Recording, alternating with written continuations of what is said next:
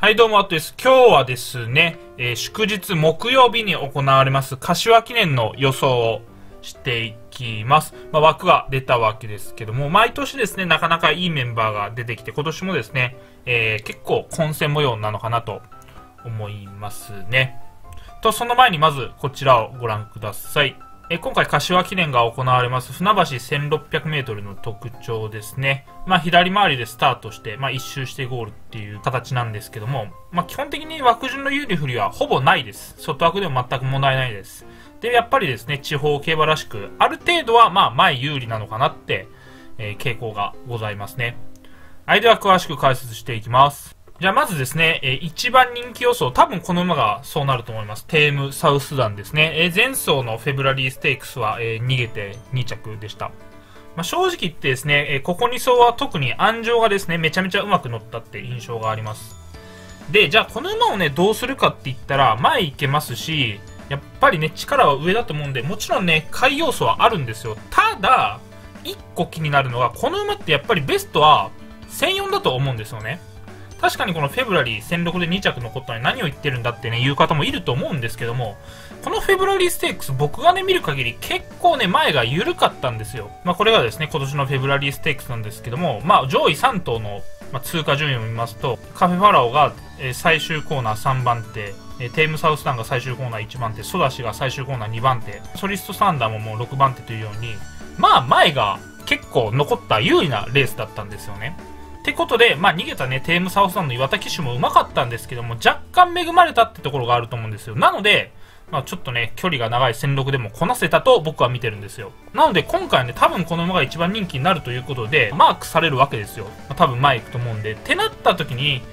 ちょっとね、もしかしたら最後の一ハロンで、うん、失速する可能性がね、僕、あると思ってるんですよ。ってところが、まあ、不安なぐらいですかね。で、お次が、まあ、湘南なでしこ行きましょうか。まあ、前走のですね、マリンカップは、えー素晴らしい圧勝劇でした。まあ、そこからですね、えー高校の柏記念に行きました。まあ、要するに、前走と、まあ、同じコース、距離なので、まあ、ここに来たわけですけども、ただね、ちょっと気になるのが、まあ、牝馬だってことですよね。この牝馬ってやっぱり芝に比べて、ダート路線は、基本的にやっぱりボバの方がめちゃめちゃ強いわけですよね。ダート路線は。まあそれこそですね、マルシュロレーヌ並みに強かったらいけるんじゃないかっていうかもしれないんですけども、マルシュロレーヌも、まあ、混合 G1 は勝ってないわけですあの馬はね、アメリカで勝ちましたけども、あれもね、牝馬限定戦だったんですよ。まあ、湘南なでしこがですね、マルシュロレーヌ2戦になるかって言ったら、僕はね、まあ、その素質はね、やっぱり結構あると思うんですが、やっぱりね、牝馬ってのが、ね、良くないんですよ。で僕の記憶が正しければ最後に牝馬が混合 G1 勝ったのってダートであのサンビスタっていうね78年ぐらい前だったかな馬が、まあ、チャンピオンズカップでデムーロ騎手が乗って穴を開けた勝ったと思うんです。多分あれ以来勝ってないはずなんですよダートの混合 G1 牝馬が。なので、やっぱりね、牝馬ってだけで、正直ね、難しいと思いますし、まあ、前走の勝ち方が強かったんでね、ある程度人気になっちゃうんですが、やっぱりね、ダートは僕はね、ボバを買うべきだってのがね、ずっとあるので、まあ、ほぼ消しに近い感じになりますね。で、お次がですね、えー昨年2着のソリストサンダーですね。まあ、この馬はやっぱりマイルが強くてですね、安定して走れます。ただ、去年と違って、去年はフェブラリーから、まあ、柏記念来たんですけど、今年は海外挟んだじゃないですか、1回。これがすごく余分だったなと思って、やっぱりね、輸送っていうのは馬にも負担かかりますし、まあね、ゴドルフィンマイル4着っていうのはすごいと思うんですけども、やっぱりね、海外帰りの馬をですね、僕は本命にしたくないっていうのがね、やっぱり、まあ、ずっと、まあ、競馬やっててあるんで、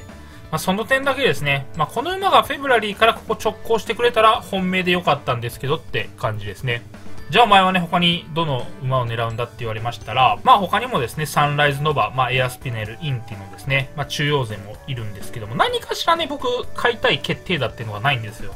なので今回は思い切って、えー地方馬のカジノ本店を、まあ、本命にさせていただきます。まあもともとね、昨年の勝ち馬なんですよね。で、まあそこからですね、ちょっと、まあ優れない成績が続きますけども、まあ、これがですね、カジノ本店の全成績です。まあ、一昨年の東京大商店2着になってから、そこからの、まあ、勢いは凄まじかったですよね。まあ、ただね、えー帝王賞あたりからちょっとね、優れない雰囲気があって、正直ね、前走も、まあ、メンツがメンツだっただけに、本当はね、勝ってほしかったんですけど、残念ながら2着でした。で、安城もですね、えー、張田騎手から本田騎手に変わりますよね。まあ、正直言って、あんまり買いたくないとも思ったんですよ。でも、今回は、僕もね、中央馬に正直言うと、どの馬も何かしら不安があるんですよ。ってことで、だったらもう思い切って、オッズの妙味とか、まあ、昨年の勝ち馬ってことを考えて、まあ、安城がですね、乗り換わって何かしら変わるんじゃないかということで、カジノ本店ですね。で、あとカジノ本店の良さっていうのは前に行けることだと思ってて、今回ね、結構逃げ馬がそんな多くなくて、まあ、テームサウスタンと、まあ、湘南なでしこはある程度言ってくれると思うんですけども、まあ、このソリストサンダーもそうですし、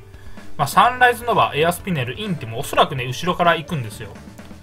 ってなったらね、ある程度は、まあ、緩い流れでですね、え前つけれると思うんです。多分2、3番手あたりでね、競馬してくれると思うんですよ。まあ、そうなったらですね、やっぱり前有利の競馬場ですし、僕はね、カジノ本店、まあ、ここ最近はね、ちょっと優れない成績なんですけども、まあ、多分ね、結構人気落とすと思うんで、今回は、まあ、結構ね、えー、オッズの妙味のことを考えて、まあ、人気が落ちるんだったら、カジノ本店から行きたいと思います。で、あと、まあ、ここにですね、実は、えー、なんと川崎に、えー、移動になりました。安城がね、この森タイト騎手に変わるっていうのはやっぱりいいですが、ただね、昨年、このレースですね、出て9着で3.1秒負けてるんですよね、タイムフライヤー。じゃあ昨年3.1秒負けた馬を今回買っていいのかってお話なんですよね。まあ、先ほども言ったようにね、安城が森たいと騎手になるのは、これはすごくいいと思いますが、もしかしたらね、あまり地方適性が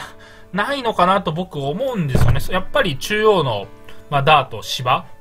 の方が僕はね、どっちかというと合ってるんじゃないかなと思うんですよね。で、後の中央馬を言うとですね、まあ、サンライズノバ。僕はこの馬は、正直言って吉原騎手じゃないと走んないと思ってて、まあ、レーン騎手もですね、注目されますけども、レーン騎手って僕、ダートあんまり上手いと思わないんですよ。やっぱりね、芝の、それこそ東京競馬場とかで活躍するジョッキーだと思うんで、まあ、吉原騎手がね、乗ったら買いたかったんですけども、今回は、レーン騎手が、ということなので、まあ、厳しいかなって感じです。で、エアスピネルも、この馬もね、僕は地方より、その、なんていうんですかね、東京みたいな、ちょっとね、馬場の軽い馬場の方がいいと思ってますし、まあ、インテもね、まあ、昨年は3着に来ましたけども、まあ、ちょっとね、年を取ってね、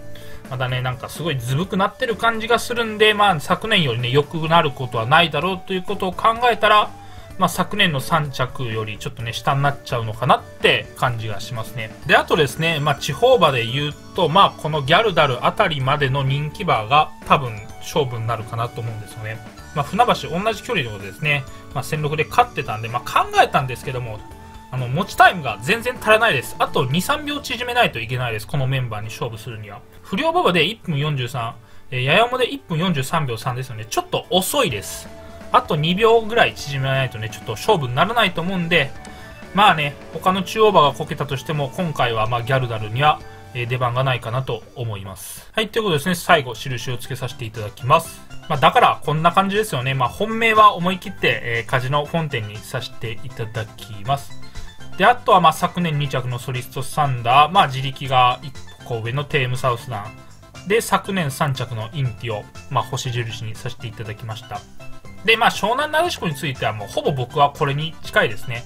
まあ、これだけ人気するようだったらおそらくね、思い切って、えー、切った方がいいと思います。まあ、あとはですね、当日の馬場とか、そういったのを見てですね、まあ、外枠がね、有利そうだったら、まあ、サンライズノバとか、まあ、エアスピネルも、まあ、紐には入れていいのかなって感じですね。